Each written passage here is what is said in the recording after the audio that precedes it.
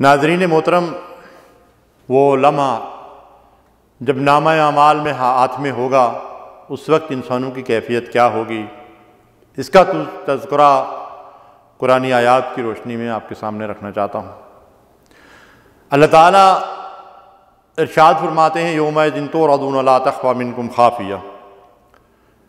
اس روز جب تم اپنے رب کے حضور پیش کیے جاؤ گے، اپنے رب کے سامنے کھڑے ہوگے حساب کتاب کے لیے بلائے جاؤ گے تو تمہارا کوئی بید پوشیدہ نہ رہے گا، تمہارا کوئی راز راز نہ رہے گا۔ یوم متب لسرائے اس دن پردے اٹھا لیے جائیں گے، سب کچھ آیاں ہو جائے گا۔ اور انسان کا کیا درا سب کچھ اس کے سامنے ہوگا۔ فاما منوتیا کتاب یمینی فیقول ہاؤ مکراؤ کتابیہ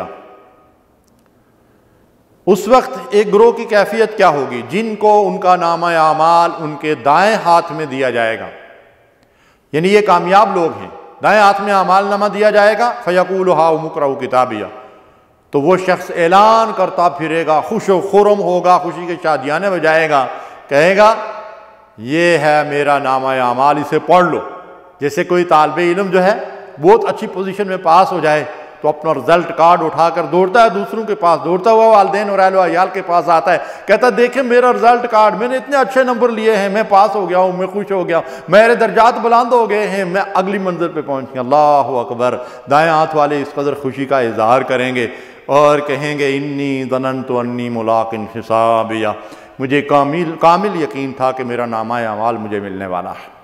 فاوفیشت الراضیہ اللہ ان کو دل پسند زندگی عطا فرمائے گا۔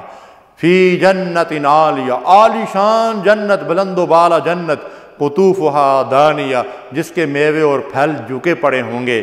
یہ نہیں کہ کوئی پھل حاصل کرنا ہے تو اس کے لیے کوئی مشقت کرنی پڑے، وہ پھل جھک کر خود اس کے سامنے آذر ہوگا۔ اور پھر اللہ تعالیٰ فرمائیں گے کلو وشربو حنیم بما اسلف تم فلیا مل ان سے کہا جائے گا، مزے سے کھاؤ، پیو، اپنے اعمال کے بدلے میں جو تم دنیا کے اندر کرتے تھے۔ یہ ہیں دائیں ہاتھ والے کہ جس دن اللہ فرماتا ہے، تمام اعمال تمہارے سامنے آ جائیں گے تو دائیں ہاتھ والے اس قدر خوش و غرم ہوں گے، جنت میں داخل ہوں گے اور اس کی صدا بار نعمتوں سے لطف اندوز ہوں گے۔ وَلَكُمْ فِيهَا مَا تَشْتَحِي أَنفُسَكُمْ وَلَكُمْ فِيهَا مَا تَدَّعُونَ۔ جو تم طلب کرو گے، جو تمہاری خواہش ہوگی، سب اللہ تبارک تعالیٰ تمہاری خواہشوں کو پورا کرے گا۔ اور نزلم من غفور الرحیم، اللہ تمہارا میزبان ہوگا، تم اللہ کے جنت کے اندر مہمان ہوگے۔ اس سے بڑی خوش نصیبی کسی کی کیا ہو سکتی ہے کہ اللہ اس کا میزبان ہو اور وہ اللہ کا مہمان ہو۔ ہر مہمان کی میزبان اپنی وسعت اور کفایت کے مطابق جو ہے وہ خدمت کرتا ہے۔ اللہ رب العالمین کیسی اپنے مہمانوں کی خدمت کرے گا؟ اللہ کے رسول بھی فرماتے ہیں، قرآن میں اللہ بھی فرماتا ہے۔ کہ نہ ان چیزوں کو جو آنکھوں کی ٹھنڈک کی صورت میں اللہ نے علیہ ایمان کے لیے جنت کی صورت میں رکھی ہیں، نہ کسی آنکھ نے ان کو دیکھا، نہ کسی کان نے ان کا تذکرہ سنا، نہ کسی دل نے ان کو محسوس کیا۔ اللہ تبارک و تعالی ہمیں ان نعمتوں سے مستفید کرے۔ اب جو دوسرا منظر ہے وہ ہمارے سامنے آ رہا ہے۔ وَأَمَّا منوت یا کتاب ہو ہی جن کو ان کا نام اعمال ان کے بائیں ہاتھ میں دیا جائے گا۔